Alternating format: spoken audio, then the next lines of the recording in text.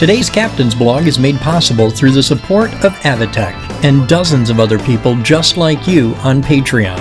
If you like what I do and you enjoy this series, please check out the links below in the description and see how you can get involved and help me make more and better videos. Thank you. Hi there guys, welcome back to the shop. Today we get to do Project Archie episode 9 where we get to explore these which are really awesome. Switchcraft is a company that makes a lot of plugs, plugs and sockets. That's their thing, especially in the low voltage communication world.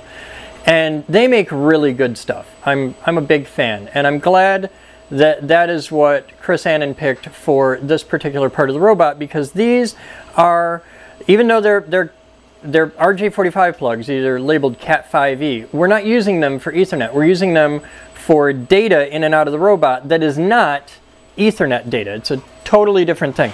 So if you look on the back of the robot, let's move this out of the way. So if you look on the back of your robot, you will see three holes in the lower right side. So this is your bottom right corner. And there's these three holes and they got little holes already set up with them. Those are your pilot holes. So what we're going to do is we're going to put these plugs in these holes and they're going to look like that. But we don't put these in yet because they have, they're like a snap in fitting here. So don't just drop these in yet because you gotta, you wanna get your, your holes drilled out first. So for your holes, you're gonna need a number 41. So we open Pandora's box of Chinesium crap and we see right there, oh, we lost 30, but we still got 41. We're cool. At 96 thousandths of an inch, 41. Though this robot is largely metricated, so number 41 for us is 2.4 millimeters, and uh, that's, that's what we'll go with. So if you can't find a number 41 drill bit, because they only come in a big numbered set, um, 2.4 millimeters, that's what you want. And it doesn't have to be exact. It's just got to be close enough because you're just, you're running a screw into plastic. So let's not, let's not get all Twitter pated with this. So check that up in your drill. And we're just going to run this right in and drill our holes. So you want to have High speed, gentle feed because you're drilling through 3D printed plastic. And these are just gonna zip right out. Like nothing to it. So it's kind of hard to do out in the middle of the bench. I'm gonna do it here over at the edge.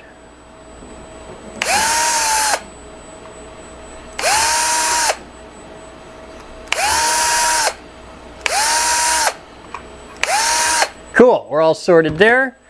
That's nice and easy. Blow it out. All right, so next step, make sure you've got it right side up. Should look like this. And then just pop this right in the hole. And it'll set. And they don't they don't appear to latch. I hadn't stuck one in because when I was messing around with this before, it felt like it was going to kind of latch in there. And I was like, ah, I'm not going to do that till it's showtime.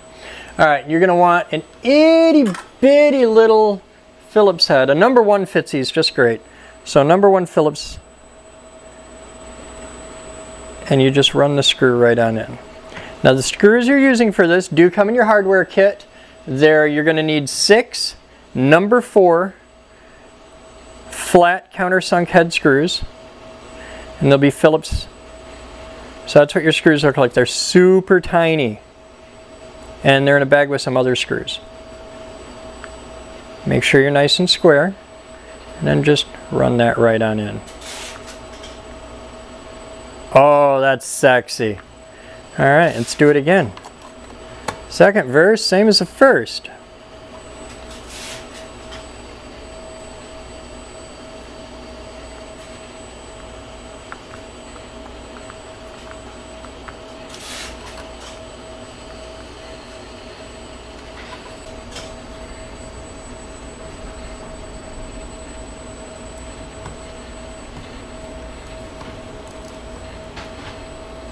And don't over tighten these. You're going into just 3D printed plastic. So there's no sense in going nuts with it. They'll just strip out and then you'll be sad.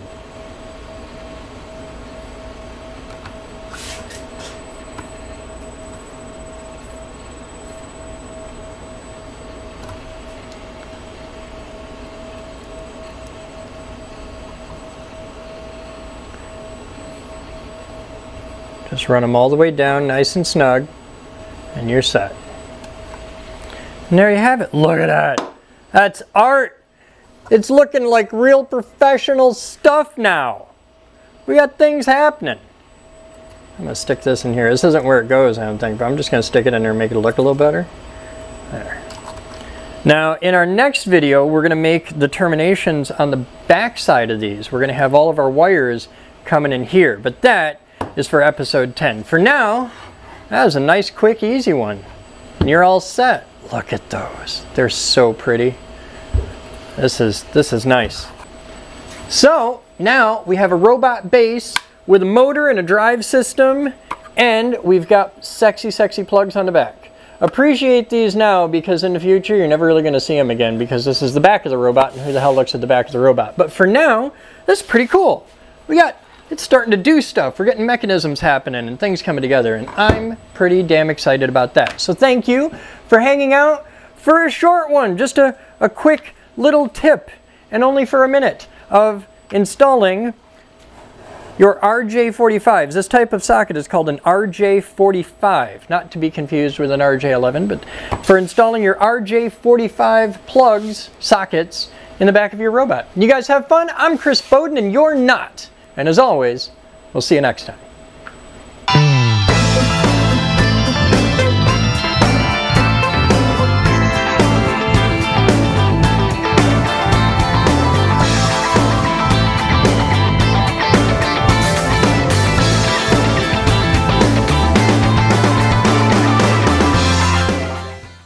I like it. I'm a happy guy. Are you? So we now have a robot base with a motor and shit falling the fuck out of it. I'm really going to be happy when we get to do J2 and get those fucking things locked in there. Project Archie, Episode 9, Sync.